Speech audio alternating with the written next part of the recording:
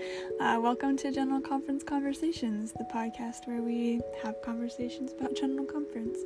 I'm your host, Kaylin, and I'm super excited to be here with you, studying the words of our living prophets, apostles, and chosen leaders. I've loved listening to podcasts about Come Follow Me, and I saw a need for a podcast centered around the General Conference talks. Um, I'm not a scholar, I'm not an expert, I'm a 20 something who just simply adores the gospel. The things I discuss are my opinions. Um, as one of my favorite podcasts, At Last She Said It, often says, Your mileage may vary. In addition to my connections and thoughts, I will include a list of questions at the end of every episode as a place to start with your own deeper study of each talk.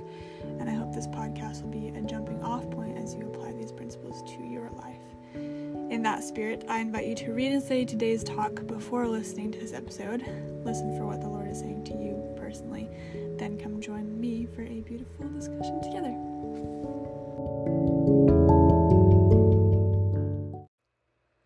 Hello, hello. I'm back. We're back. And we are officially on the last session of conference today. Very first talk from last session of conference which is so crazy. which also means that we only have like four weeks until conference, which is also crazy. So, what the heck? Um, happy September. I can't remember if it was actually September when I posted my last episode.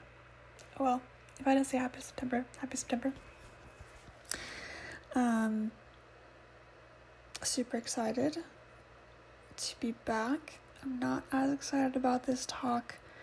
This talk was a doozy for me. It was really hard to listen to during conference, and I'll get into why. Um, and it was a little bit hard to reread as well, um, just frustrating, but there are some good things in it, of course, as always. So, um, today's talk is um, Elder uh, President Oaks is from the Sunday afternoon session, divine love and the fa- and the Father's plan. Um, and as always, I excuse me encourage you to read or listen to this talk before um, you come and listen to the episode. But I'm gonna jump right in. So his, of course, as the title suggests, is about love and love in uh, the plan of salvation specifically. Um, and so his kind of his thesis is he says what I say here seeks to clarify how God's love explains that doctrine and the church's inspired policies. So he's talking about um, basically why the church does what it does, why um, certain policies are in place, what certain doctrine, you know, seeks to to do for us, um, which I thought was really interesting to talk about. I guess the first quote I wanted to read says, "I love you, my brothers and sisters. I love all of God's children." When Jesus was asked which is the great commandment in the law, he taught that to love God and to love our neighbors are the first of God's great commandments. Those commands are first because they invite us to grow spiritually by seeking to imitate God's love for us. And so I wanted to ask as my first kind of question is have you pondered deeply the role in the plan of salvation? Like think about that. What truly is the role of love in the plan of salvation? Um, and I've thought about this a lot. Um, you know, studying Christ's life, um, trying to be like him, setting conference this this year as as so much of it has been about the atonement and you know why the atonement happened and the purpose of the atonement. Um, and that it's because God loves us. And that, that that was part of his plan. Like he, he loves us so much he wants all of us to come back to him and the atonement is the way to do that if we if if we if we choose to follow him. And so um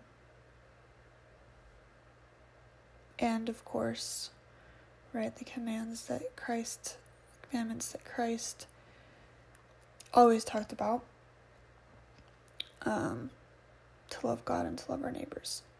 And I love that. that the first commands are first because they invite us to grow spiritually by seeking to imitate God's love for us.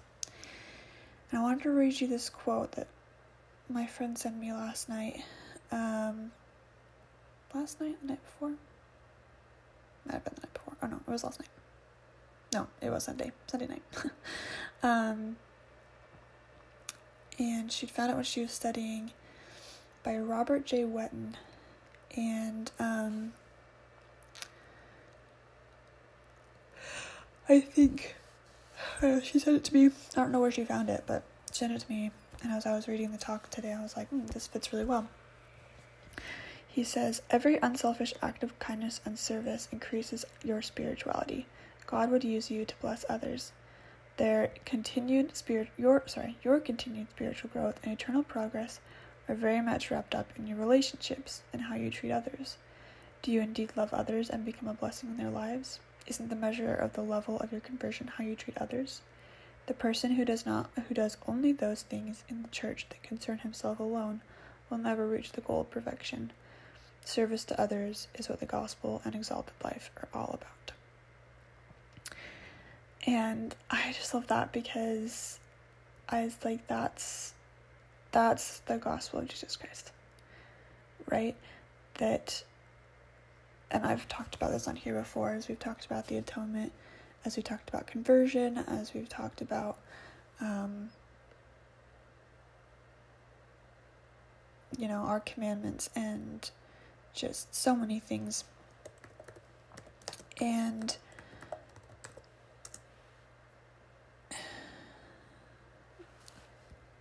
that that is the true measure of our conversion is how we treat others is how we you know become like Christ by treating others the way he would treat them. And it can be really hard and it can be really you know sucky to um to love people who don't love you or who are you know have hurt you in some way. But but that is the basis of the whole plan of salvation is love. And I don't think we talk about that enough. So I really love that he, he this is kind of the whole like basis of his talk. So he goes on to talk about the three kingdoms of glory. Um and he says a loving heavenly father has a better plan for his children. So he, t- he talks about like heaven and hell. Um he says a loving Heavenly Father is a better plan for his children. The revealed doctrine of the restored Church of Jesus Christ teaches that all the children of God, with exceptions too limited to consider here, will finally wind up in a kingdom of glory. And I love that he he talks about this doctrine on the basis of love because often and I think I've talked about this before on here but often I think we look at the three kingdoms of glory as just another way to judge people. um, that we focus so much on the celestial kingdom that the celestial kingdom kind of becomes heaven and the other kingdoms kind of become hell in our minds. That, you know, it's going to be the, the absolute end of the world if you end up in the telestial kingdom or the terrestrial kingdom. Um, and I love how he talks about the celestial kingdom in here, as he does emphasize it. He's like, we don't know a whole lot about the other two kingdoms of glory, and we know a lot about the celestial kingdom because that's where God wants us to be, because God loves us and he wants us to be with him. And um that's the emphasis I think we should put on the celestial kingdom. Not you have to go to the celestial kingdom or you know you're not going to be with your family forever you'll never see your family again. Like we use this kind of fear instead of the love. We use a fear of you know making it into the lowest kingdom as you know the worst thing you could possibly do. Or oh if you leave the church then you're not going to go into the celestial kingdom. Oh if you don't get married you're not going to get exalted. And we use it as a fear as a fear of eternity as this like life and death and you know eternal consequences for your actions. And which of course we know obviously like there are eternal consequences for our actions but there's also eternity to continue to progress and you know love and be better. And we don't talk about eternal progression enough i don't think um of like that it shouldn't be a, it's not a punishment eternity is not a punishment it's an opportunity um and that like God loves us so much that he actually made three separate degrees of glory. You know, places that are so glorious we can't even imagine them. Even the telestial kingdom, the lowest of the three, right, is supposed to be more glorious than, you know, human comprehension. And um and I think we use that to be like, well, if that's the case, then can't you just imagine what the celestial kingdom is, is going to be like? And absolutely, definitely. Um, but also, like, can you can you believe that? Can you imagine a God so loving that he's he's prepared three kingdoms of glory for all of his children, even the ones who don't accept him, even the ones who don't choose not to live in his presence, right? Um, and that's amazing. Anyway, so so he talks about the celestial glory, and he talks about the three degrees or levels of the celestial kingdom. And he says, to help us develop the godly attributes and the change in nature necessary to realize our divine potential, the Lord has revealed doctrine and established commandments based on eternal law. This is what we teach in the Church of Jesus Christ of Latter day Saints, because the purpose of the doctrine and principles of this restored church is to prepare God's children for salvation in the celestial glory and, more particularly, for exaltation in its highest degree.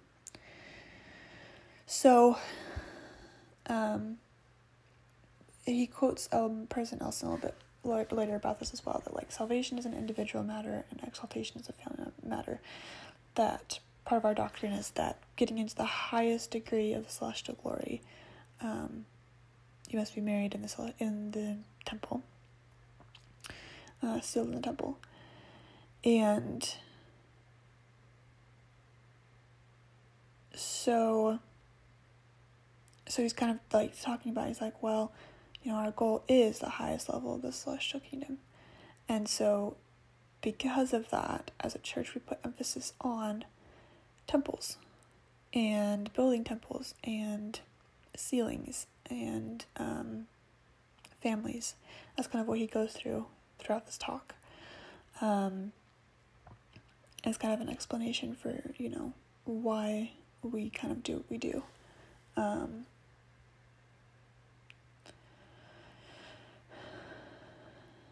so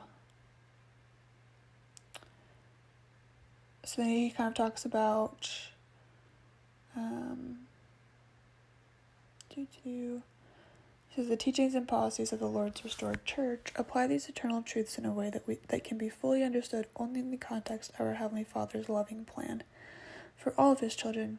Thus we honor individual agency. Most are aware of its of this church's great efforts to promote religious freedom. These efforts are in furtherance of our Heavenly Father's plan. We seek to help all of His children, not just our own members, enjoy the precious freedom to choose. Remember that as we go later. Um, and then he talks about, he's like, we are also sometimes asked why we send missionaries and why we do such big humanitarian aid that's not linked to missionary work. Um, I know some some churches who will, you know, give out um, the, like soup kitchens or whatever with the caveat that you have to go to their church service or, you know, yada yada yada, right? Or it's their missionaries always doing this the service. It's always, you know, linked to that. Um, he says we do we do this because the Lord has taught us to esteem all of his children as our brothers and sisters, and we want to share our spiritual and temporal abundance with everyone. So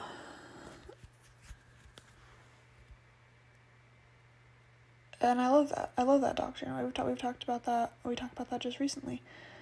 Um,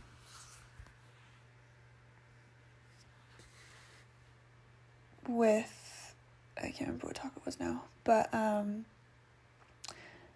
you know that we are we are supposed to treat others as God's children because that's that's they are God's children. Um, literally love God and love your neighbors, right? those two things are so interconnected that if you're loving God, you should be loving your neighbors, and if you're loving your neighbors, you're loving God. Um, and so I love that we as a church do things, um, some things, without the ulterior motive of, you know, just converting everyone. That we truly do just, we donate and we help and we um, provide aid. So, this next section is the part that's hard for me. And there weren't a whole lot of things that I under or highlighted because just the whole section um, is a lot. So, is when he's talking about families and why we're a family centered church, right? Um, that those eternal relationships are what lead to exaltation, right? That um, that to be in that highest degree of celestial glory, you have to be married in the temple and still to your family. So, of course, he brings up the Family Proclamation to the world, and he brings up LGBTQ things and he brings up Satan's attacks on the family. And I've talked about this before a few times in passing. I have a huge passion for LGBTQ rights, and it's something in our church policies and practices um, that's really hard for me, and I've talked to God about it a lot. A lot, a lot. Um, and it's an ongoing, you know, question that I have for him. And what bugged me about this talk, he didn't say anything new. And so it wasn't like it's anything worse or it's anything better or anything like that, right? He didn't say anything new. And that's what bugged me. that you know we know we know what the, the church's stance on this subject is uh, we've read the family proclamation to the world. It's been reinstated restated all the time over and over since 1995 when it came out right? For 27 years. And especially recently there have been a lot of things going on in the church um, having to do with LGBTQ community. And um,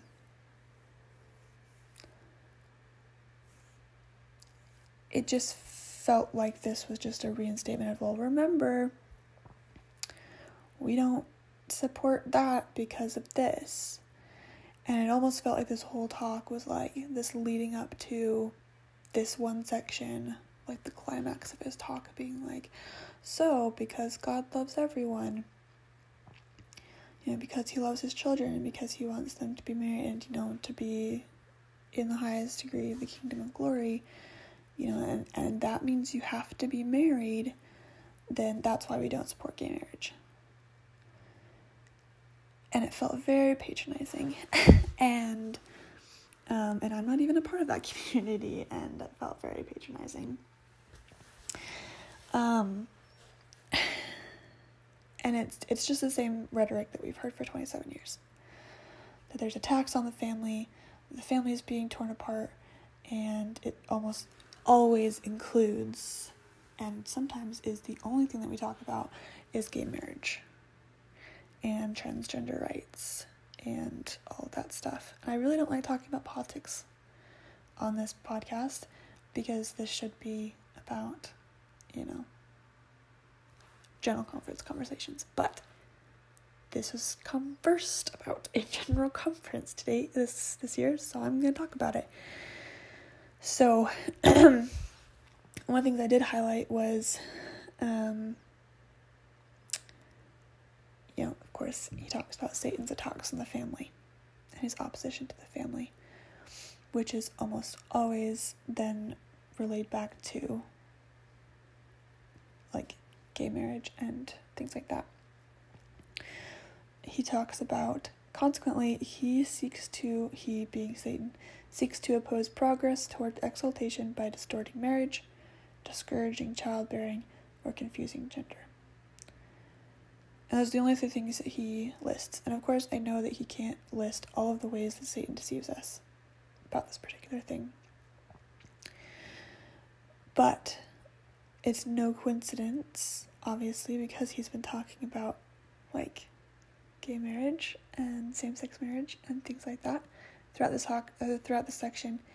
That the three things that he brings up are all related to the LGBTQ community: distorting marriage, being, you know, that it's not only between a man and a woman, discouraging childbearing, that as, you know, a couple in a gay relationships, you cannot have your own uh, fully biological children between the two of you, right? Like, you can't have your own biological children, um, but it has to be with a surrogate or like donors, right? And confusing gender, which of course is right up there very clearly about uh, non binary, transgender, uh, all of that jazz. So, I want to ask this question, and it might be a, a little cheeky, but I want to talk about what else falls in this category of Satan's attacks on the family because I agree that Satan is attacking the family. Um, t- Satan is attacking relationships, um, family relationships, because he knows that families are important, that relationships are important, and that if we are alone, um, it's easier for him to get to us, right? To attack our self worth, to attack our identity as a child of God that if we have relationships with the church, with our ward, with our neighbors, with um, our families, you know, it's harder for him to get us alone because we have a support system.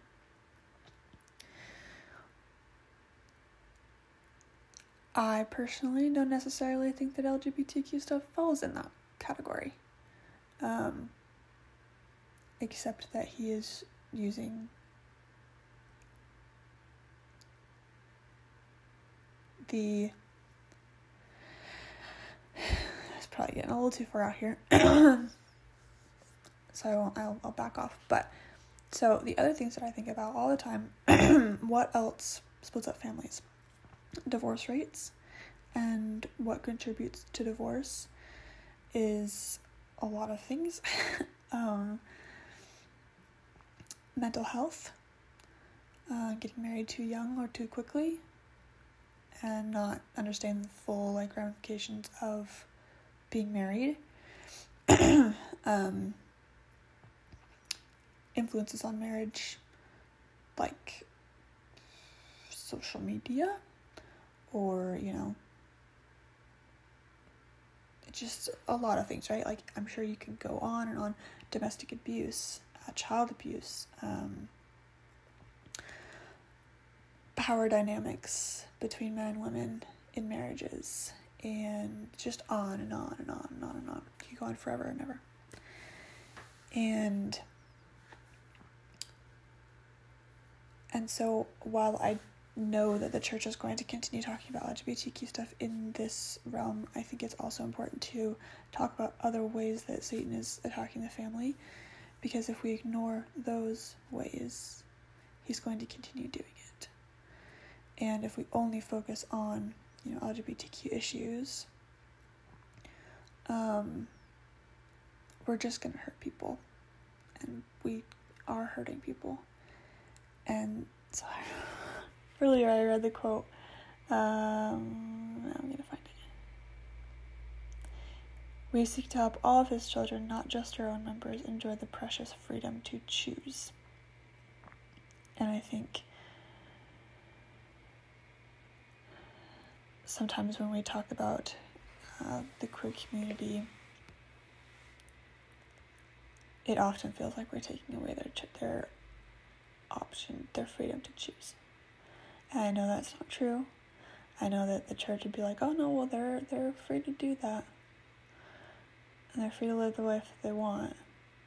And yet, the way that we talk about things like this, the way that it's talked about over the pulpit in general conference, and by general authorities in firesides and whatever, it doesn't feel like that.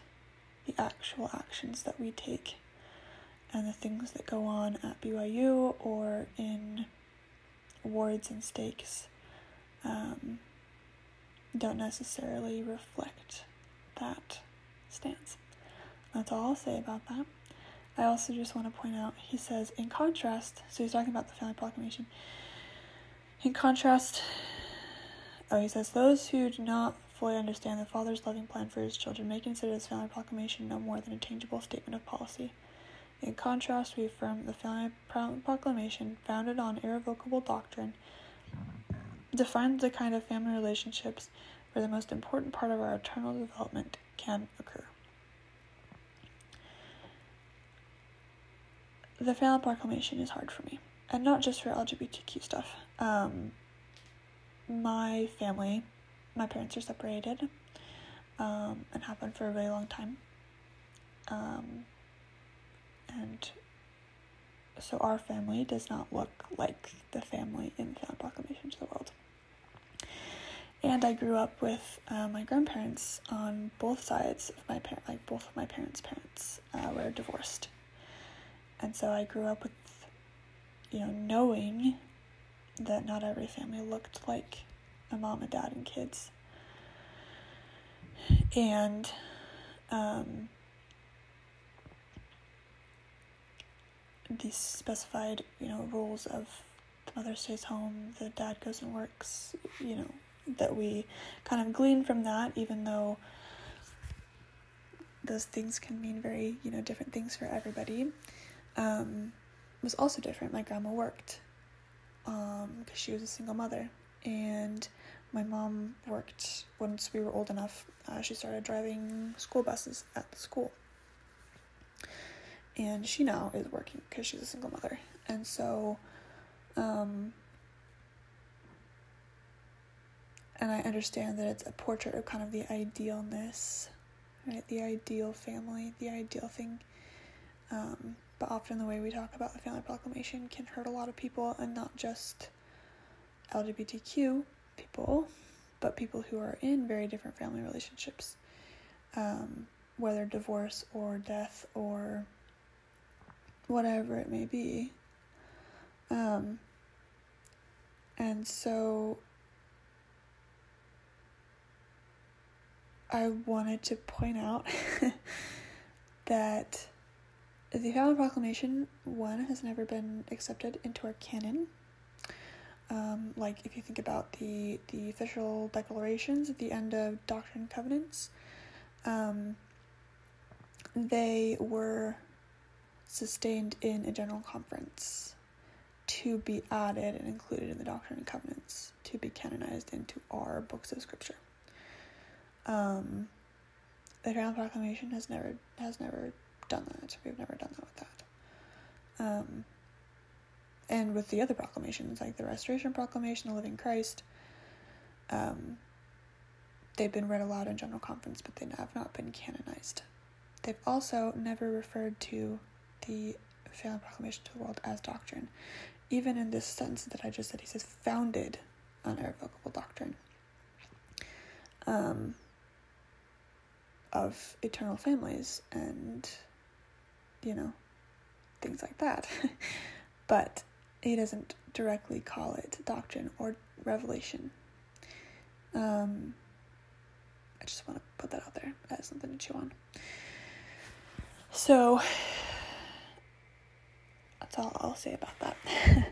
that's um, it's just hard um, that you know I know people in that community who are members of the church and people who weren't members you know of that community who have loved ones who are members of the queer community like me who this talk was really hard for because it was just another like well we've heard all that. Why do you have to keep saying this? Why do you have to keep you know reiterating the same thing over and over? We know.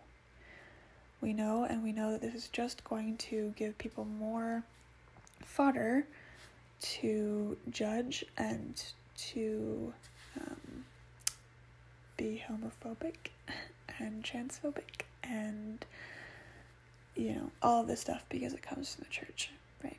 So just something to keep in mind. Um, his last section his talk was actually pretty quick. I i was reading it and i was like wow i didn't realize how short this seemed to me. Um, i remember it being longer but maybe it's just because elder oaks talks very like deliberately and so um, i'm sure the actual talk was a little bit longer than me just reading it but um, anyway so he says, in many relationships and circumstances in mortal life, each of us must live with differences. As followers of men, we we we should live peacefully with those who do not believe as we do. And so that's kind of my last question for you. I know I haven't had a whole lot of questions this time around, more just like commentary, but um this one I loved a lot, even after, you know, it came after kind of the crazy things before it that I was struggling with. But how can you better live peacefully with those who do not believe as you do? And I think that goes with what we were just talking about. And not just LGBTQ, but like other people who, um, other religions, people who don't practice any religion, um, people with different political views, people with different opinions on, you know, this the happenings around the world. Um, how do you live peacefully with them? How do you love them because of their other opinions, not in spite of, but because of, and because they're children of God. Um, and he says, We must seek to share these truths of eternity with others, but with love, with the love we owe to all of our neighbors, we always accept their decisions. And I know that can be really hard. Um, but as we see people as children of God, it can be really easy to say, well, that's that must be what makes them happy. And if that's what makes them happy, then that's what makes me happy because I love them. And we talked about this a few episodes ago. That like that doesn't mean like he says we must seek to share these truths with others. Like that doesn't mean that you don't talk about your beliefs and you know defend your way of life, but we can defend our way of life without putting down other people's ways of life as well. So anyway, um, God's love is real and um is the basis for so much that we do and so much that He does for us. Well, everything that He does for us. And it should be the basis for all that we do is that God loves us and God loves everyone. That is my testimony. that is my TED Talk. Um, but let me recap my questions really, really quick. The first one was, of course, um, have you pondered deeply the role of the love and role of love in the plan of salvation? The second was about um, Satan's attack on the family, what else falls in this category that we can talk about? Um, that you've noticed have have pulled apart families um, in your life and your experiences, things like that. And then the last one was uh, how can you better live peacefully with those who do not believe as you do? This was a heavy talk for me, and I, am sure it was probably a heavy talk for all of you. Um, but I think it's important to think about these things, to talk about these things, to consider. Um, even things that we hear all the time, and to really think deeply about them and challenge our, our views on them and pray about them and, you know, really talk to God about about things. So that's all I have for you today. I will talk to you later this week.